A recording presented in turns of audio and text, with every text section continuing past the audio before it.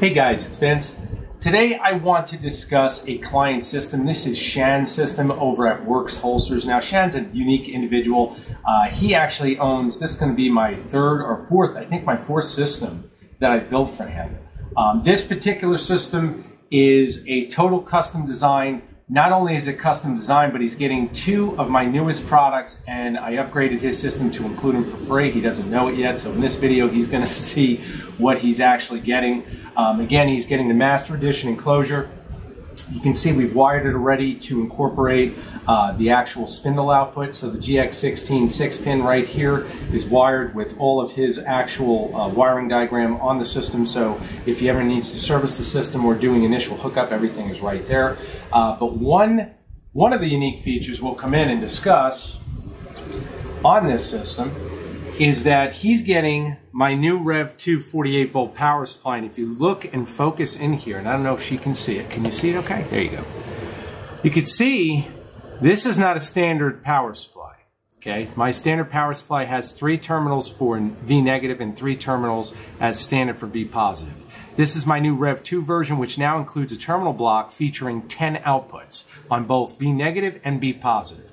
Why do we do that? Because if you look over here where we only have the ground bus, we don't need a V negative terminal splitter because now the power supply is doing that work for us.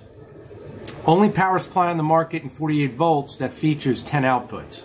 Okay, not only that, but the system also features, here's one right here that I've got. Internally, it's got an integrated EMI filter that I designed. Okay, so again, very unique power supply designed around CNC so you can see here your terminal blocks.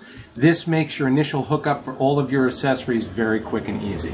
You do not no longer have to split and add a V-negative terminal splitter because the work has already been done for you, integrated into the power supply, and everybody's uh, very familiar with these terminal blocks, very simple to use. And again, we do still go with the standard uh, bolt-down terminals for our live neutral and ground. But the EMI filter is an actual integrated EMI filter. It's not a toroid filter. You'll see that in the listing for these when they come up. But one of the newest products is this unit and it is amazing. It works amazing and it's very, very simple to hook up. Coming into the system, you can see we just have his ground bus allocated. And that's again for the ground drain coming in from the GX16 6 pin. Done many videos on this, nothing new. Uh, ferrites installed on the signal cable coming from the 540 all the way over to the relay which again filters our signals. Uh, we've got another ferrite internal here going from all of the manipulation signals from the G540 to control the RPM in the actual spindle and VFD. Um, and then coming over here, uh, you can see that we've got our relay mounted, toollessly mounted, everything here is all set and he's ready to go. Along with, of course, the custom graphics set. So when he needs to service the system, everything is right there for him. Okay, so whether he's hooking it up or servicing it, you've got all your information. Now, another item that he's getting that I've worked long and hard on, I've had a lot of requests for this from a lot of different clients. Um, this is my new DS Flexion cable. And when I say it's mine, you can see eDealer Direct Automation is on the cable. Okay, this cable is one of the most unique in the industry. Let me explain and listen carefully, please. This cable is rated to 10 million flex cycles, okay? Very, very flexible. The MBR is actually printed on the cable.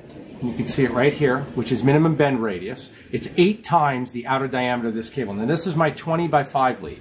Okay, you can see it's printed on the cable, 105 degrees Celsius. It's also voltage rating is 600 volts. So again, normal 20 gauge is usually rated to 300 volts. This is 600 volt in copper core conductors. You can see this is actually designed to be plugged in to his 6-pin GX16. And then on the opposite end, we have soldered and crimped the actual ferrules on to actually allow him to connect to his VFD. And you can see how flexible these are. Now, these new leads, you can see, you notice our yellow and green stripe? I've had a lot of clients want this and request this type of ground. Um, and this is more for commercial clients, but I know everybody's going to appreciate it. The flexibility of these leads just has to be felt to really be believed. Um, again, the cable is amazing. I mean, absolutely amazing as far as durability. As far as EMI mitigation, the one thing you have to consider when I say this cable is rated to 10 million flex cycles and a super, super flexible cable, I mean really flexible, is that this cable is double shielded. Okay? Now take that into consideration, which means that you're mitigating both frequencies of EMI. So again, very, very unique cable. And rest assured, uh, to get this made, anybody will let you know this is not cheap. Okay? I guess cable right now, double shielded, if you can find it, is usually about six to seven dollars a foot. Uh, I'm going to be well underneath that with this cable. This is one of the prototypes. I wanted um, I wanted Shan to have uh, one of these cables mainly because, again, it's a gift in the sense that uh, he supported me for years. I'm going to put his website up. It's Werkz Holsters. He does some amazing work. You guys need to check out his website. It's beautifully done. Okay, guys, this is Werkz.com, uh, and you can see I'm not kidding around. He did a beautiful job on this website, and his work is really amazing. You guys really need to check it out. Uh, he deals with military as well as civilian based firearms. Uh, again, really, really well designed website. You can see now, because I get a lot of questions on different website designs, what works, what doesn't work. I think this is really simple, it's really efficient, and again, it carries over into understanding, build an, append an appendix rig, uh, carry the way you want. I mean, he's got all the details covered, his returns, contacts. Again, real, real simple layout, but super effective. Check this site out if you're into firearms. I think you'll be very impressed. Um, and again, uh, not much else to say here. Uh, this cable also is impervious to oils. Okay, the exterior casing is very, very similar to a silicone. It's, it's very pliable, very pliable. And again, super easy to work with. In this particular instance, though, it's unique in that the cable is actually a little wider because we have all the internal yarn features inside this cable and it's actually a little wider. So I machined out his GX16 you can see right there. It fits perfectly in for the actual uh, the VFD cable. And he's got a very very unique cable. And again it'll last life of the system finish it off with the heat shrink here. Not not such a wide boot. And the main reason that is because this is going to be going into the actual VFD he's all set there and you can see those are soldered and crimped and he's ready to go Okay. So, Shan, I, I hope you are not offended by me giving you some gifts. uh, these are unique, but I wanted to highlight this because I want you guys to know I'm never sleeping. This is something I always deal with with progression. These power supplies have taken me quite some time to design, but I feel overall it's a great investment because it's definitely going to eliminate extra work on anyone building a system. And you can see now all we have is our ground bus. Like I said, we've eliminated all that extra work when we deal with daisy chaining or having to split a power supply because we're out of terminals. So that should no longer be the case, not with 10 outputs on V positive and V negative. Other than that, you can see all the work in the system. He's got the GX16 three pins for any switches or accessories he wants to add there. He's got another GX16 three pin over here for another output.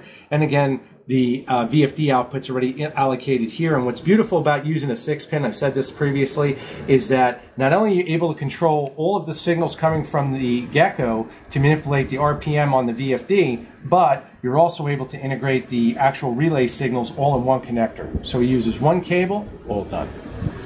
Okay, so again, guys, I hope you've enjoyed the video. I hope you enjoyed some of the highlights of what's coming out. I've gotten asked on my uh, motion control software package. It will be out shortly. Uh, right now, believe it or not, I'm trying to keep my head above water. I'm getting many, many orders, and these systems take the most time. Okay, without a doubt, they take the most time. So again, custom orders are always going to come first. I have to fulfill those orders, and then I'm working on that. But believe me, I'm not sleeping on it. Okay, and I've worked with, like I said, I've got a lot of Russian engineers that are counting on this, and I'm counting on it as well. And I think it's going to make a huge dent in what's currently on the market. So I think you guys will be, it'll be well worth the wait. I guess that's the best way to say. it. So again, to all my subscribers and Shan, especially you, please guys check out uh, his website. It's Werkz.com. It's Werkz Holsters. If you guys are into firearms, I'm telling you right now, he's got some, he does some beautiful work. Check it out. Um, Overall, again, you can message me direct if you have any questions, require quotes, consultations, storm2313 at gmail.com. You can also message me uh, through my eDealer store, eDealer Direct.